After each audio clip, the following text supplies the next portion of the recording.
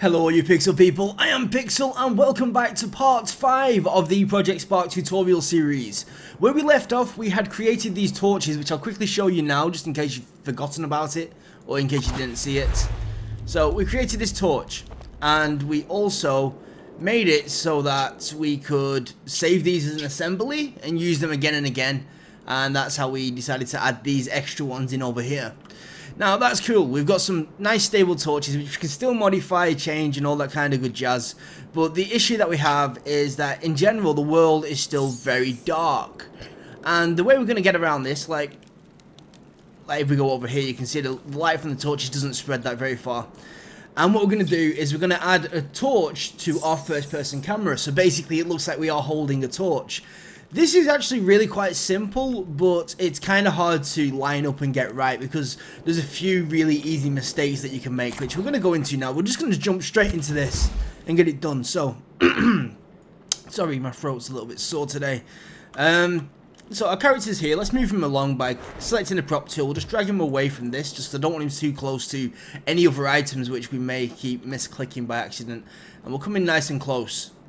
So what we want to do is add a torch and I'm going to show you a couple of issues with this. So we click on the character and then we've got this little suit of armor icon at the bottom. If we click this we can do the character studio in which we go to attachments and we go to add new and we're just going to search torch and select the woodman torch.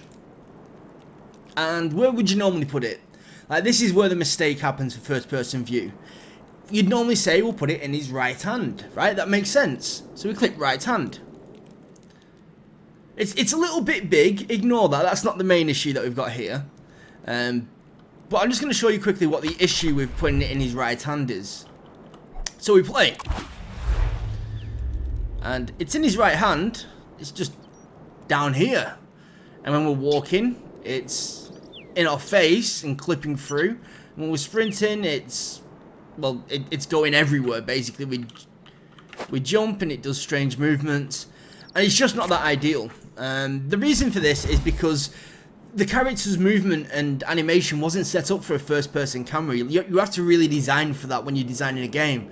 And because we don't have the option to actually have first-person animations, hopefully they could actually implement something like this in the final build. But because we can't actually just do it that simply, what we're going to have to do instead is a little bit of a trick. So, yeah, we're going to have to delete this, I'm afraid. So we click on him again, and we go to the attachment thing. Attachments, add new, torch again. And where we're going to actually attach this is his head, surprisingly enough. And it's going to look odd. I mean, it's literally balancing on his head.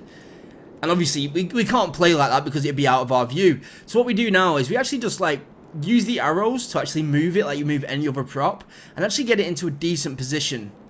And this is where you may be surprised. It's actually a lot further forward than what you might expect. So, let's just test it here. This is right in our center of our vision. It's not what we were going to want in the final thing, but... So we go back, we go back again, and we click play. So we've started, we've got a floating torch in front of us which stays tracked to our head. As you can see, that's why it even moves a little bit. It, it's kind of free in, in a respect. So what we're going to do is, first off, this is something that you'd normally do later, but I'm going to do it now just so we get it out of the way. We're going to scale it down a little bit. It was a little bit large. Uh, I'd probably say about 70 or 80% because it's actually quite a long way in front of us, so it will seem smaller. And what we're going to do is we're going to line it up. So we've got, got the front of his face. We want it further to this side. And our camera is actually a little bit lower down than what you'd expect. So we're going to lower this a fair bit. Now this seems odd. It doesn't seem right at all. But when we test it, it's getting there. See, look, when we're walking especially, it's slowly getting there. Problem is, we're always going to have this issue where if we look down, it's going to be floating, and there's nothing really we can do about that other than adding uh, an arm, and I don't think there's an actual easy way of doing that. So, we're getting there. We're going to pull it out a little bit. Oh, that just moved a little bit, didn't it? We're going to pull it out a little bit further away. And just to add a bit of an effect, we're going to rotate it away from us. Because you would normally hold it like this. And we're going to rotate it inwards a little bit to get a bit of a nice angle. And now we'll test it again. This is just really trial and error till we actually get it right. See, where it is now, it's not too bad. I still want to get it more to the right and a little bit further down. It's still taking up a little bit too much of our screen. It's not a massive issue, but you got to remember when it's actually turned on, there's flames coming off it. That's going to totally block our vision, which we don't want. So we're going to move it further left, further right, should I say, and further forward. Come on, just let me do this, and a little bit further down. See, this looks really odd now. That's where our vision's going to be seeing it. I'm assuming the camera comes right out of this guy's chest and not his head. But we click play again. See, I can get used to that. I'm, I'm, thinking that's not too bad. And because we sorted out the walking in the first, in the second episode, like sorting out the timing, it looks like he's walking. He's got a bit of a limp, but it doesn't look too bad. And when we move, it moves a little bit. When we jump, we've still got it in our view. When we're sprinting, it's a little bit lower down, so maybe I, had I raise it up a tiny little bit. Which we can do quite easily. Let's wait till he lines up his own head. Unfortunately, the characters still move while in this editing mode, and it can mess up the animation a little bit. Right, well, let's do it there. Out a little bit, and further out that way a little bit, and let's lean it a tiny little bit inwards again. I'm thinking that this may be the one. I'm liking that. I, I think we've set up the torch in a decent position. And because we're not going to have the torch turning on and off, and the reasons for this, again, is limitations within the actual Project Spark game engine, that we can't, we don't have a built-in animation to turn off the torch, it's either on or off, and that would look really odd, just like literally pressing a button, it gone there's no in between. So we're going to have it left on at all times, apart from we can get rid of it at certain times, say like if we jump in water or something like that. So now we've got it set up, obviously it's still floating like I said, but hopefully you won't be looking at your feet too much. But uh, we're going to turn on the torch, and the way we do that is quite simply like we did with these torches. We just click on this torch now, and we click on the mechanic, well the gear icon, go to properties, brain, and then we've got power on. And test. That should have worked. That should have worked.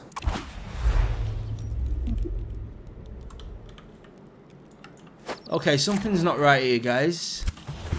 I can't think of any reason why that would not have worked. Brain power off, on. Let's turn off the brain just in case that was something to do with it. It must have been the brain. That's strange. Um, well, if anybody from the community watches this and have, has got experience in why that may have been the case, I would love to hear that. But uh, I've never had that problem before throughout all my tests. But I'm assuming it's a little bit of a bug. But anyway, we've got this this torch up now. And it's not perfect, like I mentioned, it wouldn't be, but it's working. Apart from it's only visibly working, it's not actually emitting any light. If we go into this dark area under here, you'll see that we're not actually lighting anything up. And the reason for that is we have yet to attach a light, just like we did with the original torches in the previous episode. And what we're going to do for this is actually click on the torch and click on the attachments tool. Attachments, and then add new, and I'm going to put light light bulb. And we're just going to put it on the... Let's put it in the center. And then we'll line it up a bit. So we're going to scale this down just so we can see whereabouts it... Oh, that wasn't a bad location. Uh, we're still going to move it a tiny little bit. Just I want it to not be exactly where the torch is. I want it to be a little bit further away to get some extra range without actually modifying too much. Okay, so we're in a decent position now, but obviously it's still the light which we don't really want and the way we're going to do that is again clicking on the gear icon we're going to set up the light exactly the same as we did with the other torches so we go to properties appearance light again we've got stable and then we turn it to flickering and we're going to turn the intensity up to 1.33. That was just a pot guess. I'm just thinking that's about right. We can tweak all this before the very end. This is just making sure we've got something working before we actually start spending time doing anything else. And these torches are 7.5. We're going to put this onto 5. This is a very small light. I think we'll test it and see how it goes. Again, we're going to change the colour to an orangey kind of flame colour. Click OK. And now, when we click play, again, that should be working. Bang. So yeah, we can see we've got a little bit of light. It's not a lot of light at all, but it should appear a little bit more in a dark area. So as you can see, we've still got a little bit of light showing. And there we go. We've got a decent working torch. I'm thinking the range should be a little bit bigger, but it really depends. I'm just going to have a quick walk around to see where it starts feeling right. Is there a really dark area somewhere? Like, this is quite dark. This is actually really quite dark. So it's lighting up the tree here. And don't forget, we are going to darken the actual overall world again later on. Actually, this will be a good time to actually try that. So we're going to go to edit. And then we're going to come to this world settings and we've got our brightness at zero but we're actually going to drop this down to minus three so it's a very dark night pitch black almost and test it again. So look how dark it is, and we can see that our torch is actually making a little bit of a difference. Like, you can hardly even see that there's a tunnel here anymore. We walk through. You see the shadows of the creatures moving. Crazy squirrels, crazy. Okay, I'm thinking we're actually going to increase the range a tiny little bit, to be fair. And we'll do this by, again, properties, appearance, light. Let's actually put it up to 12. So that's a big jump. That's almost double the range. So now when we go down, oh, you can see we're getting a lot more light already. An awful lot more light. We're already lighting up the tunnel. The tunnel's going to appear almost fully lit. Maybe this is a little bit too much. Again, we'll go over to these dark trees over here just to see where we start lighting them up. When do we actually get some texture on that tree? So we're actually starting to light about here. That's that's a very far distance. Maybe maybe 7.5 again, maybe 10. I'm thinking maybe 10 to be fair. But yeah, there we go guys. We've got a working torch. Already, that wasn't very long or arduous at all. And it's a very short episode. Um, let's just change this one more time. Light. Down to 9. We'll do 9 for safety. And let's decrease the intensity. And then again, we run.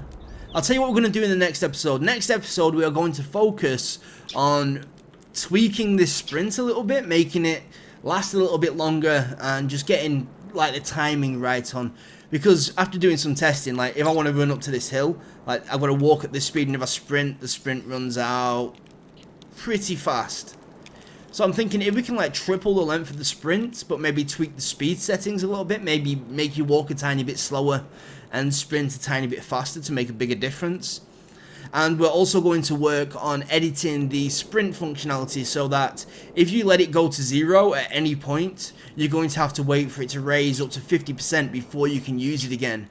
And this is interesting because it'll mean that even when you're being panicked if you're being chased by something in the final game you're going to have to really think about do I want to sprint or do I want to do something or something else and then on an episode after that, we're going to look at a blinking eye function, which is going to be quite cool because we're going to add a sanity meter in. I've started to come up with some ideas of how this game's going to work. And uh, just picture this for an idea. You've got to blink while you're walking. Because if you don't blink, your sanity will go crazy and you'll start hallucinating certain enemies and stuff which can cause damage. So you keep blinking. But when you blink or you yeah, your blink time goes over a certain amount. You'll close your eyes when you open them, you'll be in a different location, you'll feel a bit confused. I think that would be really crazy. Really, really kind of crazy. So it's something I want to experiment with. I've not tested it yet. And I will more than likely test that straight away in a tutorial because it's something that I want to try and I don't want to just say, no, I'm not going to do it because it doesn't work. We're going to learn an awful lot through trial and error while trying this out. So anyway guys, I hope that this has helped you get your first person camera with a torch setup. I have looked at creating a beam torch, kind of like in Slender. However, it's not working all that great because all we can do is a light bulb. There is no spotlight to there's no spotlight light at the moment. Hopefully later on down the line they may add something like this. And all the tests that I've done to try and emulate a normal light haven't come across perfect yet. Yet. I may be able to work something out in future. But uh, yeah, I hope you've enjoyed. If you're new to the channel, don't forget to slap that subscribe button for some more PC gaming goodness and to like this video if you like this video. And yes, we can see the dark side of my cave. See you later, guys. Bye-bye.